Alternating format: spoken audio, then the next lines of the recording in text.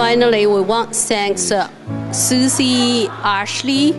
of Wedding Belles who were immensely helpful in organizing this our wedding and uh, a lot of planning, a lot of thoughtfulness, bringing together great resources from the community, wonderful band, wonderful venue, putting together the menu we wanted, a trio to play uh, Yeah, the event.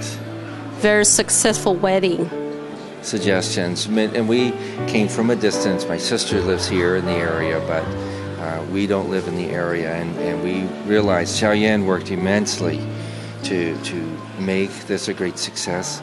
With, but without uh, Wedding Belles, Ashley and Suzanne's assistance, we would have uh, been missing quite a quite a bit. That that really made this a special day. So we like the flowers, we like the bands, the music, everything like vi- videography and photography.